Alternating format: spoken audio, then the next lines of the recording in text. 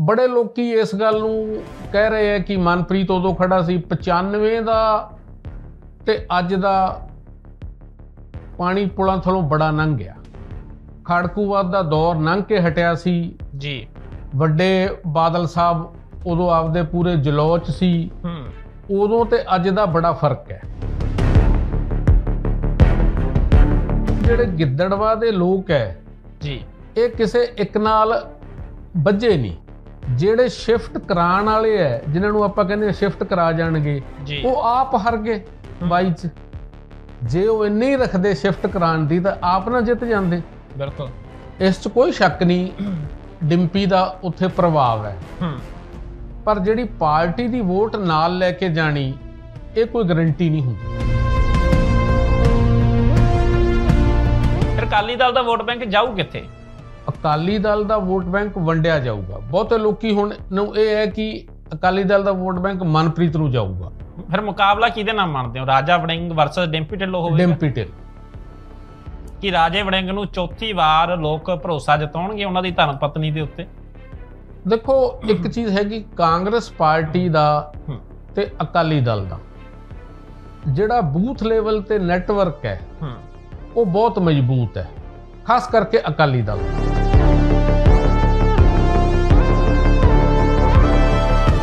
ਪੰਜਾਬ 'ਚ ਚਾਰ ਹਲਕਿਆਂ ਦੇ ਅੰਦਰ ਜਿਮਨੀ ਚੋਣਾਂ ਅਤੇ ਇਹਨਾਂ ਜਿਮਨੀ ਚੋਣਾਂ ਦੇ ਅੰਦਰ ਕੀ ਕੁਝ ਨਿਬੜਨ ਵਾਲਾਗਾ?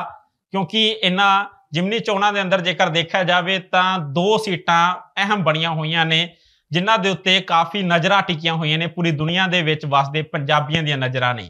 ਸਿਆਸਤ ਦੇ ਅੰਦਰ ਜੇਕਰ ਗੱਲ ਕੀਤੀ ਜਾਵੇ, ਵੱਡੀ ਹਲਚਲ ਆ ਗਿੱਦਰਬਾਹ ਸੀਟ ਦੇ ਉੱਤੇ, ਡੇਰਾ ਬਾਬਾ ਨਾਨਕ ਤੇ ਬਰਨਾਲਾ ਸੀਟ ਵੀ ਘੱਟ ਨਜ਼ਰ ਨਹੀਂ ਆ ਰਹੀ। ਹਾਲਾਂਕਿ ਇੱਕ ਚੌਥੀ ਸੀਟ ਚੱਬੇਵਾਲ ਰਹਿ ਜਾਂਦੀ ਹੈ। ਇਹਨਾਂ ਚਾਰੇ ਸੀਟਾਂ ਦੇ ਉੱਤੇ ਅਸੀਂ ਚਰਚਾ ਕਰਾਂਗੇ, ਗੱਲਬਾਤ ਕਰਾਂਗੇ, ਸਮਝਣ ਦੀ ਕੋਸ਼ਿਸ਼ ਕਰਾਂਗੇ ਕਿ ਕੀ ਸਮੀਕਰਨ ਰਹਿਣਗੇ, ਕਿਹੜੀ ਪਾਰਟੀ ਜਿਹੜੀ ਬਾਜੀ ਮਾਰ ਸਕਦੀ ਆ, ਆਮ ਆਦਮੀ ਪਾਰਟੀ, ਸੱਤਾਧਰ ਪਾਰਟੀ ਹੈ, ਕਿ ਉਸ ਦਾ ਪ੍ਰਭਾਵ ਰਹੇਗਾ ਜਾਂ ਫਿਰ ਓਪੋਜੀਸ਼ਨ ਕਾਂਗਰਸ ਆ, ਕਾਂਗਰਸ ਇਹਨਾਂ ਚਾਰ ਸੀਟਾਂ ਦੇ ਉੱਤੇ ਆਪਣਾ ਪ੍ਰਦਰਸ਼ਨ ਚੰਗਾ ਦਿਖਾ ਪਾਵੇਗੀ। ਜਾਂ ਫਿਰ ਇਸ ਤੋਂ ਇਲਾਵਾ ਬੀਜੇਪੀ ਇਸ ਵਕਤ ਮੈਦਾਨ ਦੇ ਵਿੱਚ ਹੈ, ਤਿੰਨ ਵੱਡੀਆਂ ਪਾਰਟੀਆਂ ਨੇ ਤੇ ਕੁਝ ਬਾਗੀ ਚਿਹਰੇ ਨੇ, ਕੁਝ ਆਜ਼ਾਦ ਚਿਹਰੇ ਨੇ ਜਿਹੜੇ ਚੋਣ ਮੈਦਾਨ ਦੇ ਅੰਦਰ ਨੇ, ਉਹ ਆਪਣਾ ਕਿੰਨਾ ਕੁ ਪ੍ਰਭਾਵ ਲੋਕਾਂ ਦੇ ਉੱਤੇ ਛੱਡਦੇ ਨੇ, ਲੋਕ ਕਿੰਨਾ ਕੁ ਭਰੋਸਾ ਜਤਾਉਂਦੇ ਨੇ। ਮੇਰੇ ਨਾਲ ਆਹ ਸੁਬੀਰ ਸਿੰਘ ਮੱਕੜ ਨੇ। ਮੱਕੜ ਸਾਹਿਬ, ਬਹੁਤ ਧੰਨਵਾਦ ਤੁਹਾਡਾ, ਤੁਸੀਂ ਬੈਠੇ ਪ੍ਰੋਗਰਾਮ ਦੇ ਅੰਦਰ। ਤੇ ਮੇਰਾ ਪਹਿਲਾ ਸਵਾਲ ਤੁਹਾਨੂੰ ਇਹੀ ਹੈ ਕਿ ਇਹਨਾਂ ਚਾਰ ਸੀਟਾਂ ਦੇ ਅੰਦਰ ਤੁਹਾਡਾ ਤਜਰਬਾ ਕਾਫੀ ਰਿਹਾ ਰਾਜਨੀਤੀ ਦੇ ਚਾਰ ਸੀਟਾਂ ਨੂੰ ਕਿਵੇਂ ਦੇਖਦੇ ਹੋ? ਪਹਿਲਾਂ ਆਪਾਂ ਗਿੱਦਰਬਾਹ ਤੋਂ ਸ਼ੁਰੂਆਤ ਕਰਦੇ ਹਾਂ। ਗਿੱਦਰਬਾਹ ਦੇ ਅੰਦਰ ਮਾਹੌਲ ਕੀ ਲੱਗਦਾ? ਸਭ ਤੋਂ ਪਹਿਲਾਂ ਤਾਂ ਇਹ ਹੈ ਕਿ ਇਕੱਠੀਆਂ ਚਾਰ ਸੀਟਾਂ ਬਹੁਤ ਘੱਟ ਹੁੰਦੀਆਂ। ਆਮ ਤੌਰ ਤੇ ਇੱਕ ਜਾਂ ਦੋ ਸੀਟਾਂ ਹੁੰਦੀਆਂ। ਜੀ। ਗਿੱਦੜਵਾ ਦੀ ਪਹਿਲਾਂ ਵੀ ਜਿਮਨੀ ਚੋਣ ਹੋ ਕੇ ਹਟੀ ਹੈ। ਹੂੰ। 95 ਦੇ ਵਿੱਚ ਉਦੋਂ ਬੇਅੰਤ ਸਿੰਘ ਦੀ ਸਰਕਾਰ ਸੀ। ਪਰ ਉਸ ਚੋਣ ਦਾ ਤੇ ਇਸ ਚੋਣ ਦਾ ਇੱਕ ਬਹੁਤ ਵੱਡਾ ਫ਼ਰਕ ਹੈ ਕਿ ਉਸ ਟਾਈਮ ਅਕਾਲੀ ਦਲ ਨੇ 92 ਦੇ ਵਿੱਚ ਚੋਣਾਂ ਦਾ ਬਾਈਕਾਟ ਕੀਤਾ ਸੀ। ਜੀ। ਉਹ ਚੋਣਾਂ ਬਾਈਕਾਟ ਤੋਂ ਬਾਅਦ ਹੋਈਆਂ ਸੀ। ਹੂੰ। ਤਾਂ ਉਹ ਚੋਣ ਤੇ ਅੱਜ ਦੀ ਚੋਣ 'ਚ ਬਹੁਤ ਵੱਡਾ ਫ਼ਰਕ ਹੈ।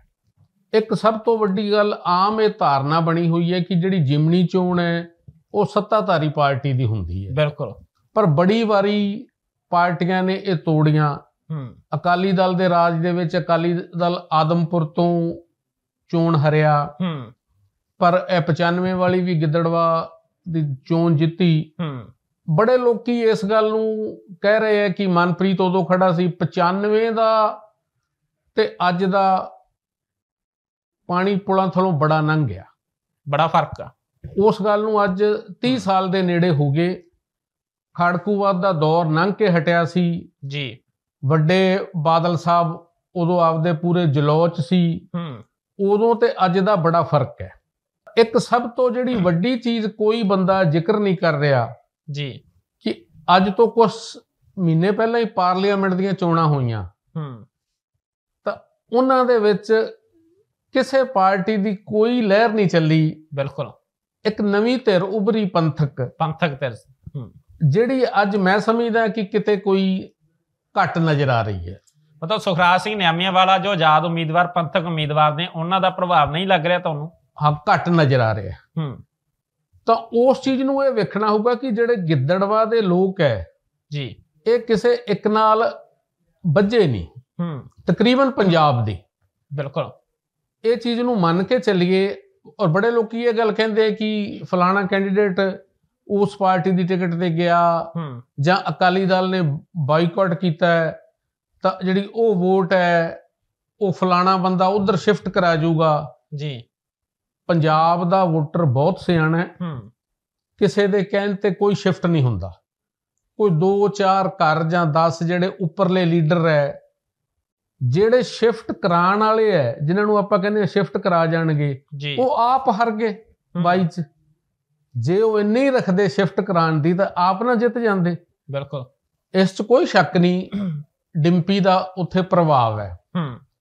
ਪਰ ਜਿਹੜੀ ਪਾਰਟੀ ਦੀ ਵੋਟ ਨਾਲ ਲੈ ਕੇ ਜਾਣੀ ਇਹ ਕੋਈ ਗਾਰੰਟੀ ਨਹੀਂ ਹੁੰਦੀ।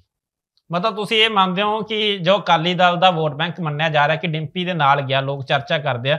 ਪਰ ਤੁਹਾਡੇ ਅਨੁਸਾਰ ਕਿ ਉਹ ਇਹ ਕਹਿ ਨਹੀਂ ਸਕਦੇ ਭਰੋਸਾ ਨਹੀਂ ਕਰ ਸਕਦੇ ਕਿ ਵੋਟ ਬੈਂਕ ਜਾਂਦਾ ਜਾਂ ਨਹੀਂ ਜਾਂਦਾ? ਨਹੀਂ ਇਹ ਜੇ ਵੋਟ ਬੈਂਕ ਇਸ ਤਰ੍ਹਾਂ ਜਾਣ ਲੱਗ ਜੇ ਹੂੰ। ਤਾਂ ਫਿਰ ਤਾਂ ਜਿਹੜੇ ਵੀ ਦਲ ਬਦਲ ਕੇ ਜਾਂਦੇ ਐ ਉਹਨਾਂ ਦੀ ਜਿੱਤ ਸ਼ੋਰ ਹੋਵੇ। ਫਿਰ ਅਕਾਲੀ ਦਲ ਦਾ ਵੋਟ ਬੈਂਕ ਜਾਊ ਕਿੱਥੇ? ਅਕਾਲੀ ਦਲ ਦਾ ਵੋਟ ਬੈਂਕ ਵੰਡਿਆ ਜਾਊਗਾ। ਬਹੁਤੇ ਲੋਕੀ ਹੁਣ ਨੂੰ ਇਹ ਹੈ ਕਿ ਅਕਾਲੀ ਦਲ ਦਾ ਵੋਟ ਬੈਂਕ ਮਨਪ੍ਰੀਤ ਨੂੰ ਜਾਊਗਾ। ਹੂੰ। ਇਹ ਵੀ ਚਰਚਾ ਗਈ। ਪਰ ਇੱਕ ਚੀਜ਼ ਪੱਕੀ ਹੈ ਕਿ ਪਿੰਡਾਂ ਦੇ ਵਿੱਚ ਜਾਂ ਹੋਰ ਜਿੱਥੇ ਪ੍ਰਭਾਵ ਹੈ ਖੇਤੀ ਪ੍ਰਭਾਵ ਹੈ ਉੱਥੇ ਅਜੇ ਵੀ ਬੀਜੇਪੀ ਪ੍ਰਤੀ ਜਾਂ ਮਨ ਦੇ ਵਿੱਚ ਕੁਛ ਕੁ ਕੁੜੱਤਨ ਹੈ। ਹੂੰ। ਬੀਜੇਪੀ ਬਹੁਤ ਮਿਹਨਤ ਕਰ ਰਹੀ ਹੈ। ਉਹਨਾਂ ਵਾਸਤੇ ਇਹ ਤਾਂ ਹੋ ਸਕਦਾ ਕਿ 27 ਦੀ ਰਹਿਸਲ ਹੋਵੇ। ਹੂੰ। ਪਰ ਇਸ ਪੋਜੀਸ਼ਨ 'ਚ ਹੈ ਨਹੀਂ ਕਿ ਉਹ ਕਿਸੇ ਗੇਮ 'ਚ ਆ ਜਾਣਗੇ। ਜੀ।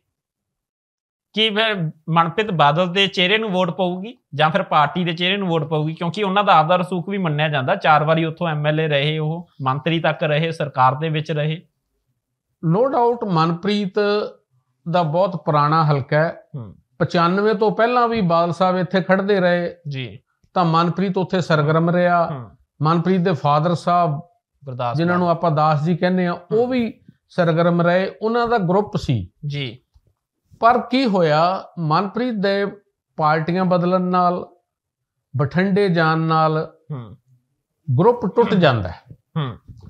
ਅੱਜ ਦੀ ਡੇਟ ਦੇ ਵਿੱਚ ਜਿਹੜੇ ਲੋਕ ਹੈ ਉਹ ਛੋਟੇ ਛੋਟੇ ਛੋਟੇ ਛੋਟੇ ਕੰਮਾਂ ਨਾਲ ਬੱਧੇ ਹੈ। ਹੂੰ। ਉਹ ਕੰਮ ਅੱਜ ਜਿਮਨੀ ਚੋਣ ਆਪਾਂ ਕਿਉਂ ਕਹਿ ਦਿੰਨੇ ਆ ਕਿ ਸਰਕਾਰ ਦੀ ਹੈ? ਉਹਦਾ ਮਗਰ ਕਾਰਨ ਇਹ ਹੀ ਹੈ ਕਿ ਮਨਪ੍ਰੀਤ ਦਾ ਪਿਛਲੇ ਸਾਲਾਂ 'ਚ ਲਿੰਕ ਨਹੀਂ ਰਿਹਾ। ਹੂੰ। ਤਾਂ ਉਹ ਨਵੇਂ ਸਿਰੋਂ ਕੋਸ਼ਿਸ਼ ਕਰਕੇ ਬਣਾਉਣ ਲੱਗੇ ਹੈ ਉਹ 27 ਦੀ ਗਰਾਊਂਡ ਤਾਂ ਕਹਿ ਸਕਦੇ ਆ ਤਿਆਰ ਰਹੂ ਪਰ ਅੱਜ ਦੀ ਡੇਟ ਦੇ ਵਿੱਚ ਬਾਕੀ ਤਾਂ ਵੋਟਰਾਂ ਦੇ ਵੱਸ ਹੈ ਹੂੰ। ਪਰ ਇਹ ਪੋਜੀਸ਼ਨ ਨਹੀਂ ਲੱਗਦੀ ਕਿ ਜੇਤੂ ਮੁਕਾਬਲੇ ਦੇ ਵਿੱਚ ਆ ਜਾਣਗੇ ਫਿਰ ਮੁਕਾਬਲਾ ਕਿਹਦੇ ਨਾਲ ਮੰਨਦੇ ਹੋ? ਰਾਜਾ ਵੜਿੰਗ ਵਰਸਸ ਡਿੰਪੀ ਢਿੱਲੋਂ ਹੋਵੇਗਾ। ਡਿੰਪੀ ਢਿੱਲੋਂ। ਕਿ ਰਾਜੇ ਵੜਿੰਗ ਨੂੰ ਚੌਥੀ ਵਾਰ ਲੋਕ ਭਰੋਸਾ ਜਤਾਉਣਗੇ ਉਹਨਾਂ ਦੀ ਧਰਮ ਪਤਨੀ ਦੇ ਉੱਤੇ? ਦੇਖੋ ਇੱਕ ਚੀਜ਼ ਹੈਗੀ ਕਾਂਗਰਸ ਪਾਰਟੀ ਦਾ। ਤੇ ਅਕਾਲੀ ਦਲ ਦਾ। ਜਿਹੜਾ ਬੂਥ ਲੈਵਲ ਤੇ ਨੈਟਵਰਕ ਹੈ ਉਹ ਬਹੁਤ ਮਜ਼ਬੂਤ ਹੈ ਖਾਸ ਕਰਕੇ ਅਕਾਲੀ ਦਲ ਦਾ। ਜੀ। ਇਹ ਗੱਲ ਮੰਨਣਾ ਪਊਗਾ ਪੰਜਾਬ ਦੇ ਵਿੱਚ ਕਿ ਜਿਹੜੀ ਬੂਥ ਲੈਵਲ ਦੀ ਉਹਨਾਂ ਦੀ ਵਰਕਿੰਗ ਹੈ ਹੂੰ। ਚਲੋ 22 ਦੇ ਇਲੈਕਸ਼ਨ ਉਹ ਹਾਰ ਗਏ। ਇੱਕ ਲਹਿਰ ਸੀ ਪਰ ਅੱਜ ਵੀ ਹੁਣ ਹੁਣ ਉਹਨਾਂ ਨੇ ਬਾਈਕਾਟ ਕਰਤਾ ਹੈ ਇਹ ਇਲੈਕਸ਼ਨ ਨਹੀਂ ਲੜ ਰਹੇ। ਜੀ। ਕਾਂਗਰਸ ਦਾ ਜਿਹੜਾ ਪੱਕਾ ਵਰਕਰ ਕਿਉਂਕਿ ਰਾਜਦੀਪ ਜਿਹੜੇ ਆਮ ਖੜਦੇ ਆ ਕੈਂਡੀਡੇਟ ਉਹਨਾਂ ਨੂੰ ਜਿਹੜਾ ਪੋਲਿੰਗ ਬੂਥਾਂ ਤੇ ਬੂਥ ਲਾਣੇ ਔਖੇ ਹੋ ਜਾਂਦੇ। ਆਮ ਆਦਮੀ ਪਾਰਟੀ ਦੀ ਜਿਹੜੀ ਸਰਕਾਰ ਆਈ ਸੀ ਇਹ ਕੋਈ ਸੰਗਠਨ ਨਾਲ ਨਹੀਂ ਸੀ ਆਈ। ਲਹਿਰ ਨਾਲ ਆਈ ਸੀ। ਹੂੰ। ਤਾਂ ਅੱਜ ਵੀ ਹੈ। ਡਿੰਪੀ ਢਿੱਲੋਂ ਦਾ ਆਮ ਆਦਮੀ ਪਾਰਟੀ ਨੂੰ ਇੱਕ ਫਾਇਦਾ ਹੋਊਗਾ ਕਿਉਂਕਿ ਉਹਨਾਂ ਨੇ ਉਹਦਾ ਕਾਰਨ ਹੀ ਇਹੀ ਸੀ। ਹੂੰ। ਉਹਨੂੰ ਕਿਸੇ ਹੋਰ ਪਾਰਟੀ ਦਾ ਬੰਦਾ ਲਿਆ ਕੇ ਆਮ ਆਦਮੀ ਪਾਰਟੀ ਨੇ ਖੜਾ ਕੀਤਾ ਕਿ ਉਹਨਾਂ ਕੋਲੇ ਆਪ ਦਾ ਕੋਈ ਐਸਾ ਕੈਂਡੀਡੇਟ ਹੀ ਹੈ ਨਹੀਂ ਸੀ ਜਿਨ੍ਹਾਂ ਦਾ ਬੂਥ ਲੈਵਲ ਤੇ ਸੰਪਰਕ ਹੋਵੇ। ਹੂੰ। ਤਾਂ ਅੱਜ ਦੀ ਡੇਟ ਦੇ ਵਿੱਚ ਮੁਕਾਬਲਾ ਜਿਹੜਾ ਉਹ ਰਾਜੇ ਵੜਿੰਗ ਦਾ। ਅਮਰਤਾ ਦਾ ਹੂੰ। ਤੇ ਡਿੰਪੀ ਦਾ ਹੀ ਹੈ। ਜੀ। ਮੱਕੜ ਸਾਹਿਬ ਬਰਨਾਲੇ ਚੱਲਦੇ ਆ ਬਰਨਾਲੇ ਵੀ ਬੜਾ ਮੁਕਾਬਲਾ ਕਹਿੰਦੇ ਫਸਮਾਗਾ ਗੁਰਦੀਪ ਬਾਠ ਆਜ਼ਾਦ ਉਮੀਦਵਾਰ ਬਾਗੀ ਹੋਏ ਨੇ ਆਮ ਆਦਮੀ ਪਾਰਟੀ ਤੋਂ। ਕਹਿੰਦੇ ਉਹ ਟੱਕਰ ਦੇਣਗੇ ਉਧਰ ਕਾਲਾ ਢਿੱਲੋਂ ਨੇ ਕਾਂਗਰਸ ਤੋਂ ਉਹ ਵੀ ਇੱਕ ਯੰਗ ਚਿਹਰਾ ਦਿੱਤਾ ਕਾਂਗਰਸ ਨੇ।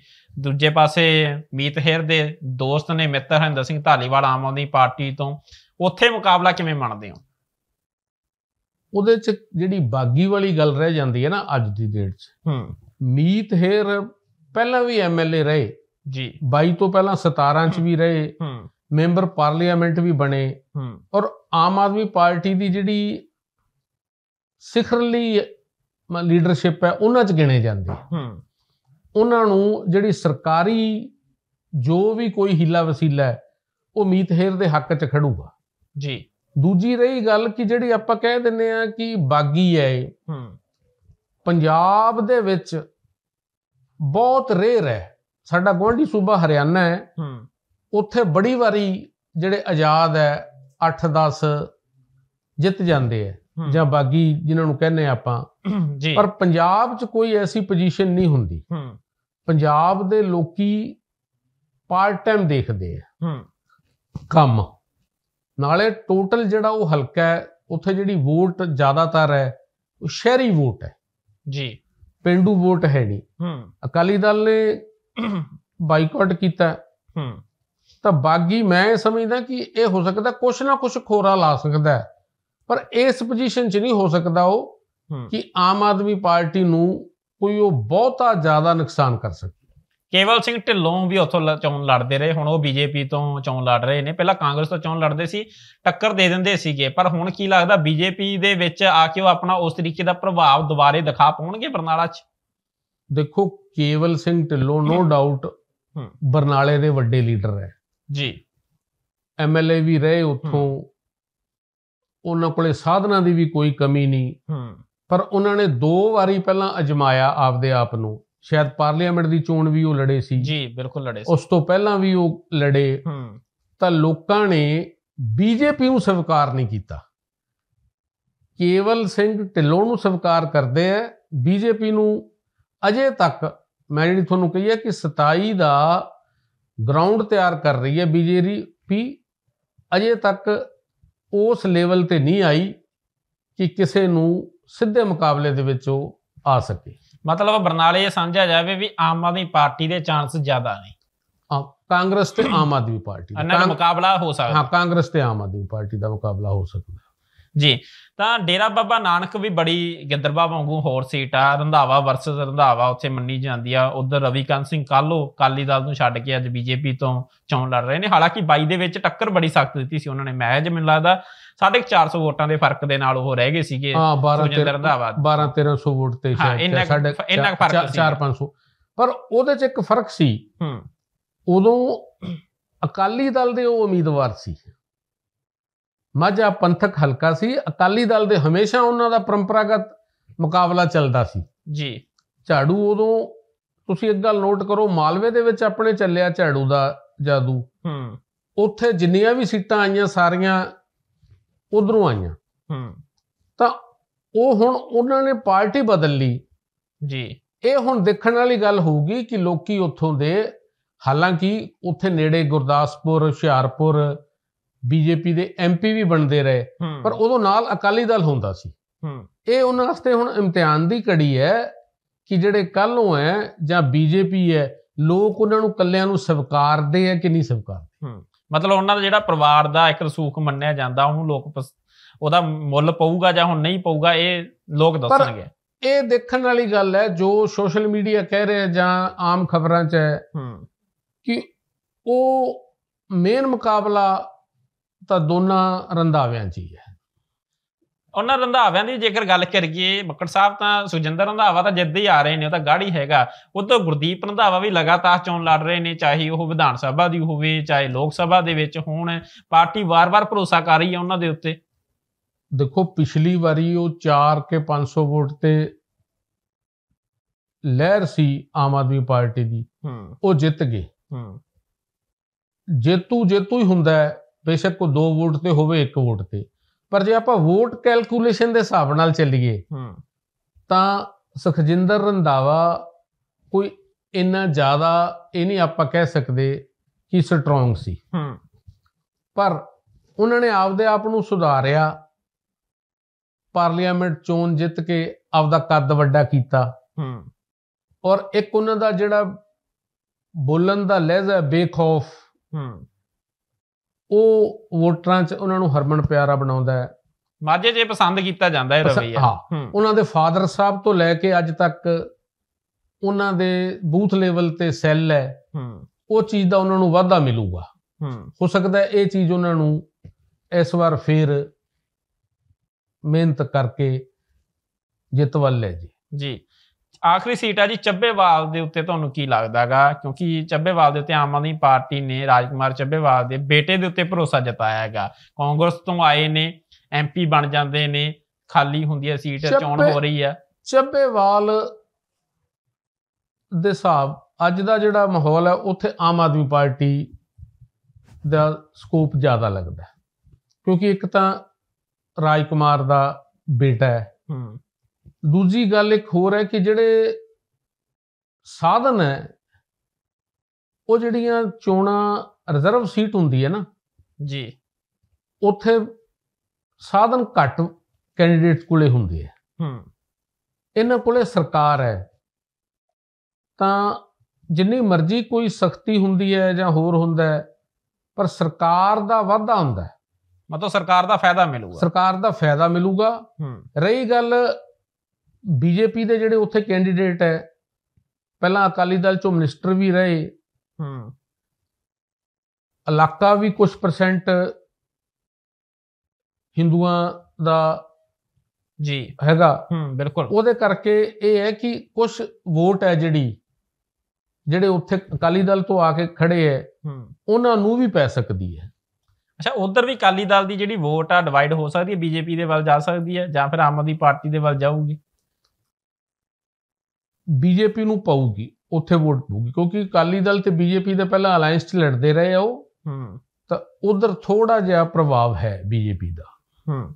ਇਹਨਾਂ ਡੇਰਾ ਬਾਬਾ ਨਾਨਕ ਦੇ ਵਿੱਚ ਸੁੱਚਾ ਸਿੰਘ ਲੰਗਾ ਅਕਾਲੀ ਦਲ ਦੇ ਵਿੱਚ ਹੁਣੇ ਵਾਪਸੀ ਕੀਤੀ ਸੀ ਉਹਨਾਂ ਨੇ ਤੇ ਉਹ ਸਮਰਥਨ ਦਿੰਦੇ ਹੋਏ ਨਜ਼ਰ ਆਏ ਉਹ ਆਮ ਆਦਮੀ ਪਾਰਟੀ ਦੇ ਹੱਕ ਦੇ ਵਿੱਚ ਭੁਗਤਦੇ ਨਜ਼ਰ ਆਏ। ਦੇਖੋ ਜਿਹੜੀਆਂ ਇਹ ਨਿੱਜੀ ਰੰਜਿਸ਼ਾਂ ਹੁੰਦੀਆਂ ਨਾ ਹੂੰ। ਇਹ ਪਾਰਟੀਆਂ 'ਚ ਚੱਲਦੀਆਂ ਰਹਿੰਦੀਆਂ ਪਰ ਸੁੱਚਾ ਸਿੰਘ ਲੰਗਾ ਮਿਨਿਸਟਰ ਵੀ ਰਹੇ ਹੂੰ। ਬਹੁਤ ਵੱਡੇ ਲੀਡਰ ਹੈ ਉਹਨਾਂ ਨੂੰ ਇਸ ਤਰ੍ਹਾਂ ਦੀ ਕਾਰਵਾਈ ਨਹੀਂ ਸੀ ਕਰਨੀ ਚਾਹੀਦੀ। ਹੂੰ। ਜੇ ਪਾਰਟੀ ਨੇ ਬਾਈਕਾਟ ਦਾ ਫੈਸਲਾ ਕੀਤਾ ਤਾਂ ਉਹਨੂੰ ਖਿੜੇ ਮੱਥੇ ਸਵੀਕਾਰ ਕਰਨਾ ਚਾਹੀਦਾ ਸੀ। ਬੇਸ਼ੱਕ ਸਿਆਸੀ ਤੌਰ ਤੇ ਸਾਰਾ ਕੁਝ ਹੁੰਦਾ ਹੈ ਹੂੰ। ਆਪਦੇ ਸਮਰਥਕਾਂ ਨੂੰ ਜਾਂ ਕਿਸੇ ਹੋਰ ਤਰੀਕੇ ਨਾਲ ਮਦਦ ਕਰ ਸਕਦੇ ਸੀ। ਪਰ ਇੱਕ ਸ਼ਰੇਆਮ ਪ੍ਰੈਸ 'ਚ ਆ ਕੇ ਕਹਿਣਾ ਤਾਂ ਉਹਦੇ ਨਾਲ ਇਹਨਾਂ ਦੀ ਇਮੇਜ ਨੂੰ ਧੱਕਾ ਹੀ ਲੱਗਿਆ ਕੋਈ ਸੁਧਾਰ ਨਹੀਂ ਹੋਇਆ। ਹੂੰ। ਕਿ ਕਿਸੇ ਦੇ ਕਹਿਣ ਤੇ ਕੋਈ ਇਸ ਤਰ੍ਹਾਂ ਜੇ ਤੁਰਨ ਲੱਗ ਜਾਣ ਲੋਕ ਕਿਉਂਕਿ ਉਹਨਾਂ ਨੂੰ ਪਾਰਟੀ ਨੇ ਪਹਿਲਾਂ ਆਪ ਬੜੇ ਔਖੇ ਦੌਰ ਚੋਂ ਗੁਜ਼ਰੇ ਹੈ ਦੁਬਾਰਾ ਫਿਰ ਇੱਕ ਇਹ ਤਾਂ ਮੈਂ ਸਮਝਦਾ ਕਿ ਪਾਰਟੀ ਨੂੰ ਉਹਨਾਂ ਤੇ ਐਕਸ਼ਨ ਲੈਣਾ ਚਾਹੀਦਾ ਹੈ।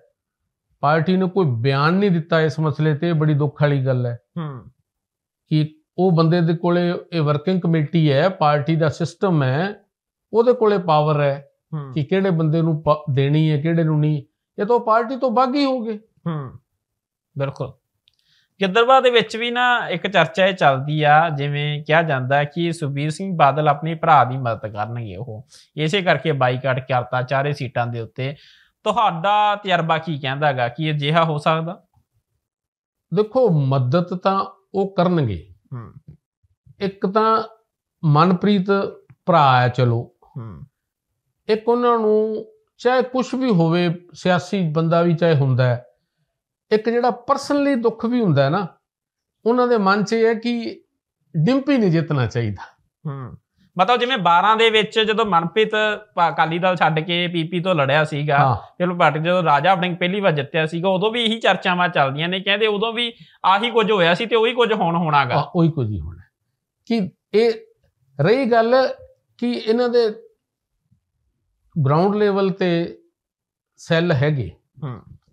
ਪਰ ਪਿਛਲੇ ਸਮੇਂ ਦੇ ਵਿੱਚ ਸੁਖਬੀਰ ਸਿੰਘ ਪੰਜਾਬ ਸੰਭਾਲਦੇ ਸੀ ਜਾਂ ਹੋਰ ਸੀ ਗਿੱਦੜਵਾ ਉਹਨਾਂ ਨੇ ਡਿੰਪੀ ਦੇ ਸਿਰ ਤੇ ਹੀ ਛੱਡਿਆ ਸੀ। ਬਿਲਕੁਲ। ਉਹ ਤਾਂ ਸਿਰਫ ਇੱਕ ਉਹਨਾਂ ਦੇ ਕਹਿਣ ਤੇ ਕਿਤੇ ਜਲਸਾ ਵੀ ਰੱਖਣਾ ਹੈ ਕਿਤੇ ਚਾਹ ਵੀ ਪੀਣ ਜਾਣਾ ਹੈ ਤਾਂ ਡਿੰਪੀ ਦੇ ਕਹਿਣ ਤੇ ਜਾਂਦੇ ਸੀ। ਜੀ ਬਿਲਕੁਲ।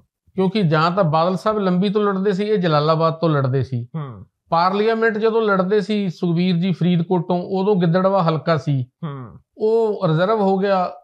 ਉਹਨਾਂ ਦਾ ਗਿੱਦੜਵਾ ਨਾਲ ਕੋਈ ਬਹੁਤਾ ਰਾਬਤਾ ਨਹੀਂ। ਜੀ।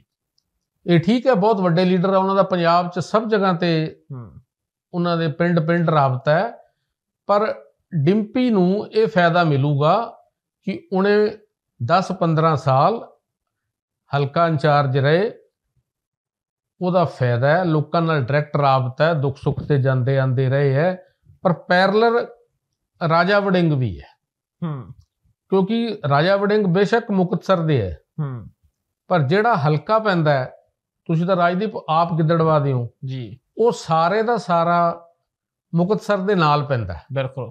ਉਹਨਾਂ ਹੀ ਜਿਹੜੇ ਪਿੰਡ ਹੈਗੇ ਆ ਉਹਨਾਂ ਨੂੰ ਮੁਕਤਸਰ ਪੈਂਦਾ ਹੈ ਹੂੰ ਉਹਨਾਂ ਹੀ ਗਿੱਦੜਵਾ। ਪੈਂਦਾ ਆ ਜਿਹੜਾ ਕੌਣੀ ਦਾ ਤੇ ਸਾਰਾ ਪਰਲਾ ਏਰੀਆ ਭੁੰਦੜ ਵਾਲਾ। ਲੁੰਡੇ ਵਾਲਾ ਤੇ ਇਹਦੇ ਸਾਰਾ ਇਹ ਪੈਂਦਾ। ਜੀ। ਤਾਂ ਇਹਦੇ 'ਚ ਉਹਨਾਂ ਨੂੰ ਵੀ ਕੋਈ ਮਤਲਬ ਉਹ ਨਹੀਂ ਕਿ ਕੋਈ ਕੈਂਡੀਡੇਟ ਜਿਵੇਂ ਉਹ ਲੁਧਿਆਣਿਓਂ ਜਾ ਕੇ ਜਿੱਤ ਗਏ।